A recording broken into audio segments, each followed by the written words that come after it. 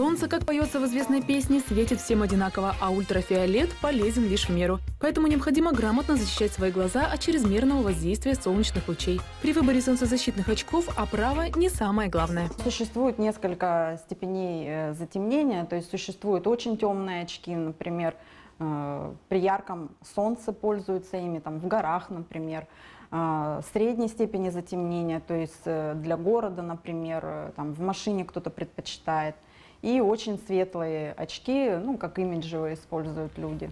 Главное – комфорт ношения. Не стесняйтесь перемерить много моделей, чтобы подобрать подходящую именно вам. Выбирайте оправы, которые по ширине соответствуют лицу. Края оправы должны немного выступать за его границы, чтобы заушники не оказывали давления на голову. Актуальны по-прежнему формы стиля 60-х, 70-х годов. Это массивный пластик.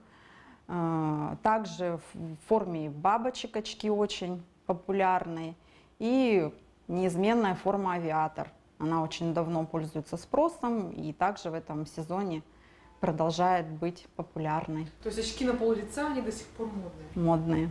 Зеркальные покрытия и градиентное окрашивание очковых линз тоже остаются в моде. Чтобы убедиться в том, что линзы обеспечивают стопроцентную защиту от ультрафиолетовых излучений, попросите продавца проверить выбранные очки на специальном аппарате. Сегодня в магазинах представлены очки от эконом-класса до класса люкс. От 2000 и выше, в принципе, очки все хорошие, хорошего качества. Просто какие-то более бюджетные, какие-то более дорогие, брендовые, в единственном экземпляре. Если вы любитель активного отдыха, вам подойдет вот такая спортивная модель. В таких очках за счет их формы будет комфортно и велосипедистам, и бегунам. Но вот отдать за них придется не менее 5000 рублей. Очки, конечно, нужно убирать в футляр, протирать салфеткой, салфетку стирать по мере загрязнения, чтобы очки Э, никаким абразивным воздействием не подвергались. Не стоит забывать, что детские глазки тоже нуждаются в защите. Солнцезащитные очки являются еще и своеобразным барьером, который защищает глаза ребенка от грязи и пыли.